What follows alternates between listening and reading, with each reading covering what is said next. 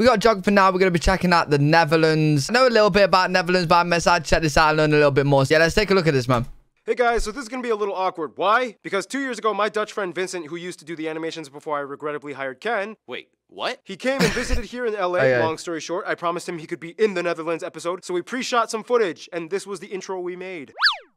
I flew over. This guy, Oh, is a this, real like, way Dutchman, back? Say hi to Vincent right here. Hey, Vincent. Hey, look, Vincent. I know the Dutch are tall, but just step down from the box, okay? Mm. Just step down. You get off of your box then. Good for me. I can never top those days. Oh, and this episode is on the Netherlands. I actually thought it was that tall, I can't lie. I was thinking, what the hell? Everybody, I'm your host Barbs. Now, there are many countries that deal with water issues. Some Right. lack water, some have too much water, and some, like the Netherlands, have bridled the wild stallion and Just have water learned how to control the water everywhere. and to their advantage. Water Yeah. is probably the most powerful element in the Netherlands, and without it, they would be, I don't know, pretty useless. So, what do you say, 2016 Vincent? En dan nu politieke geografie. Wait, why would it be useless without water? So, yeah, stop calling this place Holland. That's just one part of the country, even though their country's national tourism website is called Holland.com. You're not helping us here, Dutchies. Oh, and I used to always call them called Holland, I The can't lie. First of all, the country is located in northwestern Europe along the North Sea, bordered by Germany and Belgium. The country is divided into 12 provinces. Here's 2016. Hey, look, it's very close to the UK. Woo! Vincent naming all of them for you. They are Limburg, Noord-Holland, Zeeland, Zuid-Holland, Utrecht, Gelderland, Overijssel, Drenthe, Groningen, Friesland, Noord-Holland, and the newest province, Flevoland. Almost all of Flevoland was reclaimed from the Zuiderzee in the 1950s. So besides being famous for making cheese and clogs, we Oh, also jeez. make our own land. The country kind of has two capitals Amsterdam, the largest city and economic hub of the country, and home to the Royal Palace. And Right. just to skip over, the third largest city, The Hague, acts as the second capital, which Alright, alright, interesting. Everybody knows about Amsterdam, but um, The Hague? I've never heard of Hague. holds the seat of government as well as the International Court of Justice. The second Aye. largest city, though, would be Rotterdam, which holds the busiest seaport in all of Europe. The busiest airport, though, is of course Amsterdam's Schiphol International, Europe's third busiest airport, carrying nearly 70 million passengers annually. Wow, Europe's third territories. busiest. Apart from the mainland European part, the country actually holds sovereignty over six other island entities in the Caribbean, remnants of the colonial past. These are collectively called the Dutch Caribbean. And here's where it gets a little confusing. Technically, the Netherlands is a country made up of four countries the mainland Netherlands, as well as three other constituent countries, kind of like what Wales and Scotland are to the UK. They are Huh? Aruba, Wait, so the Netherlands is like what? So with the UK, right? United Kingdom, you have England, Scotland, Wales, and uh, Ireland, Northern Ireland. Uh oh. Uh, uh, yeah, they're gonna be. Uh, the Irish are gonna be mad about that one. Uh, moving on. Wait, but the Netherlands is kind of like that. Curacao, and St. Martin, which is actually half of an island shared with the North Island. Wait, Ah, I don't know. Move on. French overseas territory of the same name, but in French. This means that this one island is the only area which the Netherlands technically borders France. These guys hold a high level of autonomy, they can have their own constitutions and currency. Otherwise, the remaining three islands are Bonaire, St. Eustatius, and Little Saba, which by the way has the shortest airport runway in the world. These three Aye. fall under the title of Special Wait, Miraba, that's which by the habitable. Wait, that. has the short I think it's the graphics is making it look very tiny, but it's very like just like a mountain in the ocean. airport runway in the world. These three fall under the title of special municipalities and do not belong to any province. They are directly controlled by the Dutch government. However, in 2011, they decided to switch currencies and adopt the US dollar. All these islands lie in the subregion Right. known as the Lesser Antilles. Aruba, Curacao, and Bonaire are usually referred to as the ABC Islands, lying in the subregion of the Leeward Antilles. like it. Whereas St. Eustatius, Saba, and St. Martin, usually called the SSS Islands, are located in the subregion of the Leeward Islands. Keep in mind, at one point, all six of these islands were called the Netherland Antilles and operated collectively as a single constituent country with the capital at Willemstad in Curacao. They even competed Cool. separately in the Olympics. With the exception of Aruba, who had autonomy in 1986, it wasn't until the early 2000s when they all voted for their future, and it kind of went like this. Okay, guys, you have four options for your future. Choose wisely. You can have closer ties to us, remain just as you are in the Netherlands Antilles, autonomy as a constituent country within the Kingdom of the Netherlands, or you can opt for complete independence as a new nation and break away from us. We vote for autonomy as constituent countries. Me too. What the?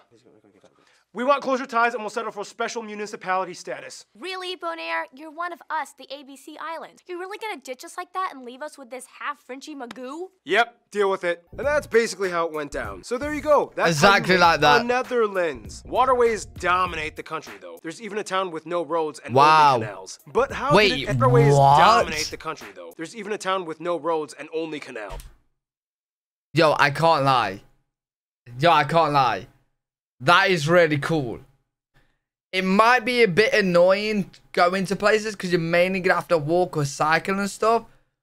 But that is really cool. I like that. I like that a lot. But how did it end up this way? Somewhere around the 9th century, people were kind of fed up with all the flooding, and they invented these seawalls known as dikes, which surrounded polders or reclaimed land plots protected by the dikes. To this day, the Netherlands has reclaimed about a fifth of its total landmass from the sea. So, what would happen if all the Yeah. dikes were destroyed and all the water just came and flooded everything? Scientists speculate that the country would go from looking like this to this. Whoa, Amsterdam would be gone. Huh? Luckily, the Dutch are fantastic engineers and have been taming this dragon for centuries. And speaking of engineering, there are so many notable spots to check out in case you ever visit. So many museums, but the most notable one probably being the Rijksmuseum in Amsterdam, the Royal Palace, the Van Gogh Museum, the Anne Frank House, numerous castles like these, numerous star-shaped fortress towns, so many amusement parks. Wow, like- I can't lie. Like, then they're not joking when there's a lot of water. there's water everywhere. These, The enclaves and exclaves Legit of everywhere. We talked about this in the Belgium episode. The world's largest flower garden at Keukenhof, Austerlitz Pyramid, this prehistoric burial site, and of course there are somewhere around 1,000 historic windmills left in the country from the 1800s. Wow. Mostly in the Kinderdijk area, a UNESCO heritage site. Keep in mind though, the country has a ton of modern wind turbines that help supply energy to the nation, a topic that will be discussed in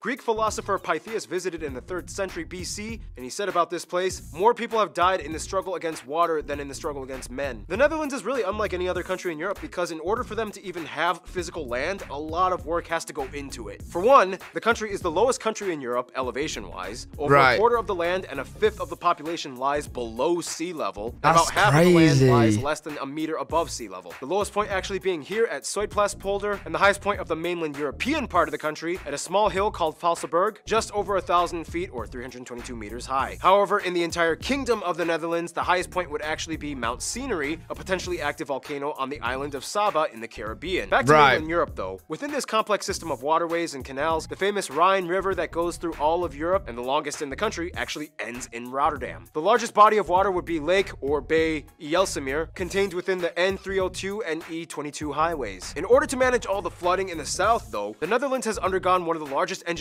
projects in modern history. The Delta Works is a series of massive elevated levees that close off sea estuaries, preventing flooding. They even have backup levees in case one down the line bursts. In the oh north, my though, the Wadden Islands act as kind of like natural barriers against the sea. All this land reclamation has left many of the inland areas exposed to what are labeled as the largest open sand drifts in Europe. Keep in mind, they are not deserts, but rather strange, wet, sandy plots in the middle of green shrubbery. A rare natural sight to come across anywhere in the world. So, in a nutshell, the entire country is basically one big river delta. Hmm.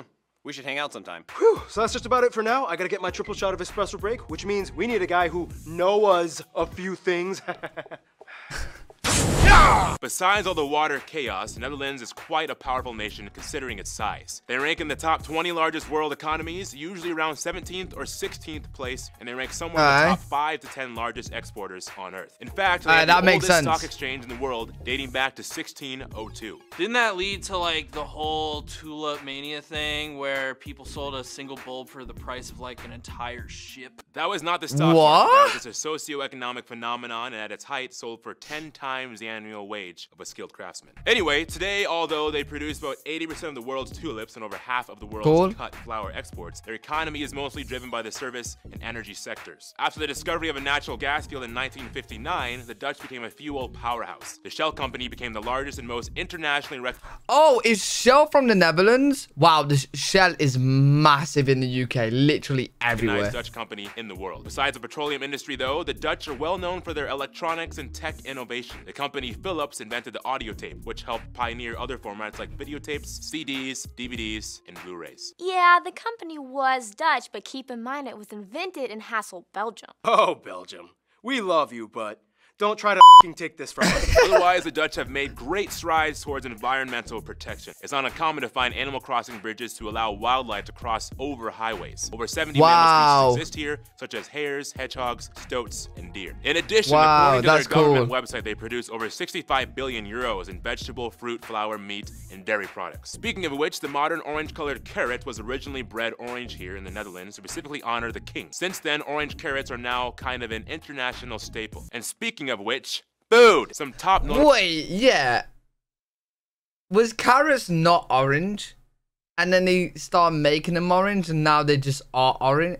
I don't know, bro. I don't know. I don't know. What does it mean, bread orange, dishes you guys, the Dutch geography suggested we mentioned include things like various types of stamppots, Dutch Ooh. pancakes with powdered sugar, apple tarts, bitterballen, split pea soup, rookworst, stroop waffles. Oh. So many potato dishes, brined herring Ah. and smoked eel. Gin was invented here. Sorry, Brits. For breakfast, chocolate sprinkles on toast. Why, do British is people think and gin the was pride and joy of the nation, Gouda cheese. Yep, that's how you pronounce it, guys. Oh, and keep in mind they used to be the largest beer exporters in the world. Heineken being their top brand until Mexico beat them in 2010. Oh wow, cool. It's also important to note that you will probably find lots of Indonesian and Surinamese Oh. dishes like satay or salted cod buns. A little cultural cue that hints towards the colonial past, which brings us to food. Thank you, Noah. I love food. Yep. That just happened. Now, in Europe, you have all different types of people that operate with all different customs and ideologies. Here, they have two sayings that kind of sum up how a lot of their country operates. Meten is weten, and gezelligheid kent geen tijd. How is that, Dutchies? Terrible? Good? Perfect. Well, you're gonna get what I give. Anyway, the country has about 17.5 million people and is the most Decent densely amount. populated nation in Europe. Oh, About wow. 77% of the population identifies as Dutch, to whatever extent that may mean, whereas 10% are other Europeans, and the remainder are made up Right. of other people groups, mostly Turks, Indonesians, as well as the Surinamese, and surprisingly, even some Americans. They use the euro as their currency, they use the type C and F plug outlets, and they drive on the right side of the road. Now, we all know that Dutch is the official language of the Netherlands. Not like after watching a lot of these geography nows, not many people drive on the left side of the road.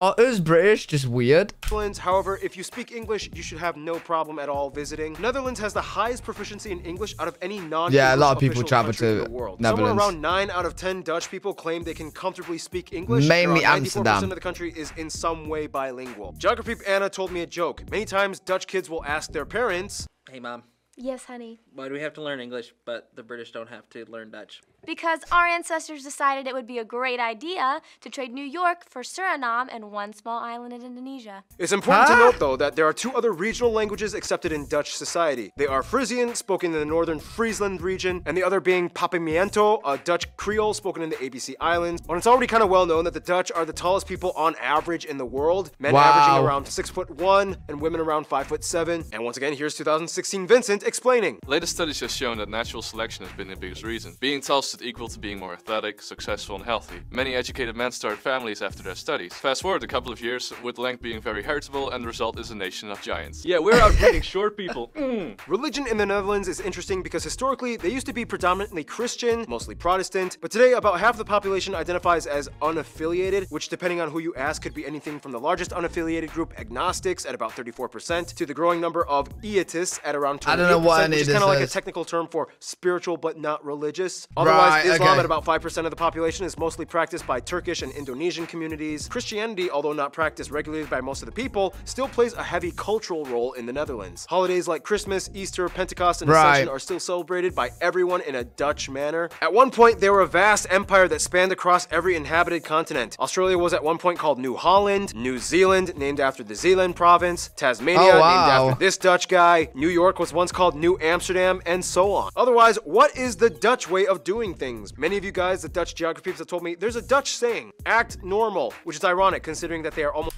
Do normal. Almost anything but normal. And here's random Hannah to explain culture stuff.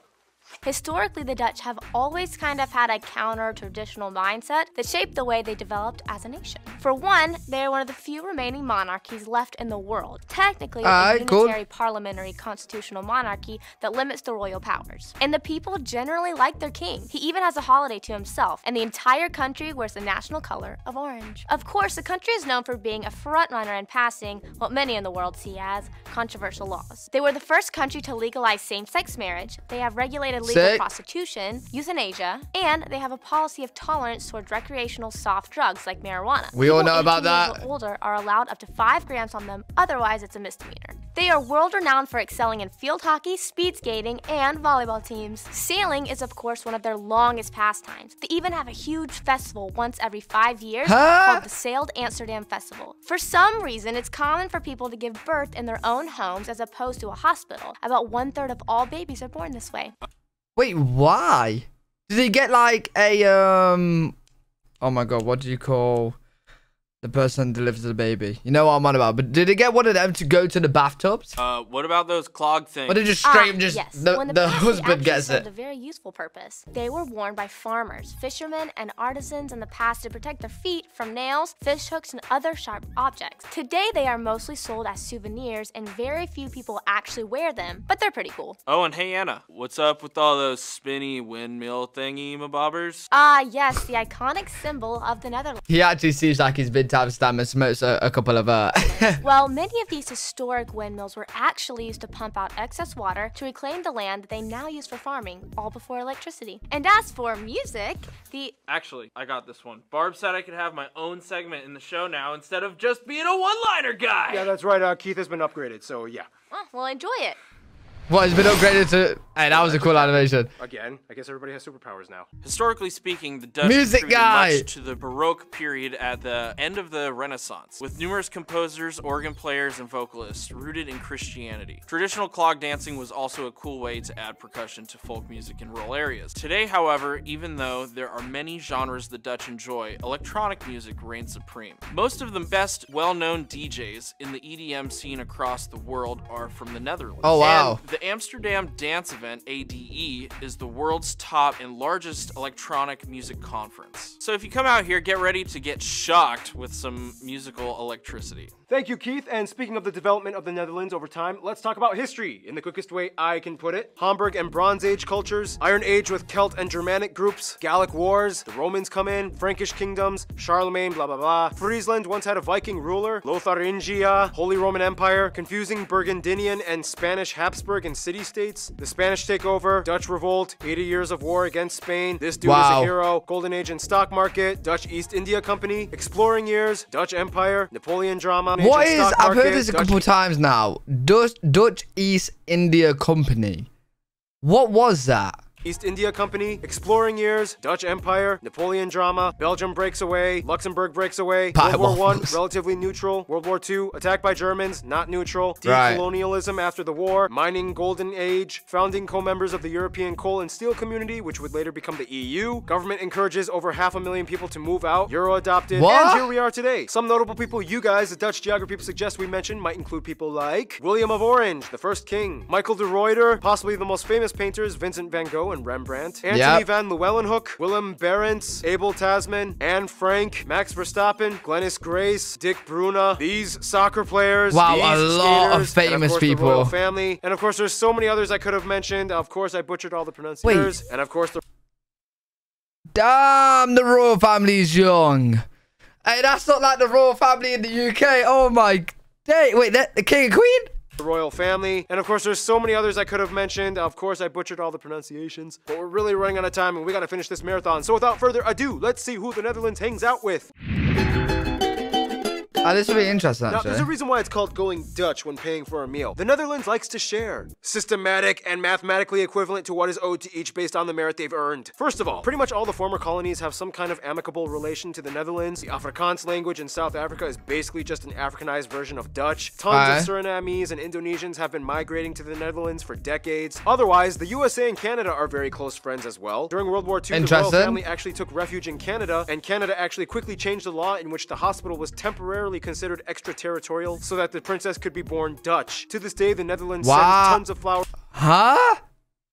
Aye, that's really cool. That they did that. considered extraterritorial in Canada, and Canada actually quickly changed the law in which the hospital was temporarily considered extraterritorial Wow. so that the princess could be born Dutch. To this day, the Netherlands sends tons of flowers every year in gratitude. For the US, the two go way back all the way to New Amsterdam before it was New York. The Dutch have immigrated to the US for centuries. Five American presidents have been of Dutch descent. They are each other's third largest direct foreign investors. They are both charter members of NATO since 1949, and overall, in most global affairs, the two usually work together as close allies. With Germany, it's like a funny love-hate relationship. Like the two share so much historically, both being under the same influences like the Western Roman Empire, the Franks, and even their first king, William of Orange, belonged to a German royal house. Then again, World War II was kind of like a jerk move, and the Dutch never really forgot about it. But nonetheless, they've moved on, and today things are fine. Germany is their largest trading partner, both in imports and exports. They got no ties to the UK? Dutch cross over and visit, study, like strong live, ties? and have families with each other's countries. When it comes to their best friend, however, almost every single Dutch person I have talked to has said their little brother they love picking fun on and calling stupid Belgium, or at least specifically the northern Flanders region of Belgium where the Dutch Aye, aye. speakers are. And many see the Flanders region as just an extension of the Dutch realm. The royal makes families sense. love each other. King William Alexander even bestowed the Knight Grand Cross to King Philip and his wife. Flemish and Dutch people have been intermarrying and cooperating side by side since the beginning. And even after Belgium's independence, they've still clung on as the only two Dutch official speaking nations in Europe. And even Cool. then, Belgium is only half Dutch speaking, so they really can't afford to sever ties. In conclusion, the lowest nation in Europe with the tallest people on earth and with centuries of discovery, invention, innovation, and tradition, it's no wonder why the Dutch say they keep their heads above water. Stay tuned, New Zealand is coming up. It's good because it's got a lot to it. Enjoyed that episode a lot. Hopefully you guys enjoyed it as well. If you guys did, make sure to leave a thumbs up, subscribe for more content. If you guys got any videos or you want me to check out, let me know in the comment section down below. I stream every single day on Twitch. If you guys want to check me out, my username is right there. And I'll see you guys in the next video. Peace.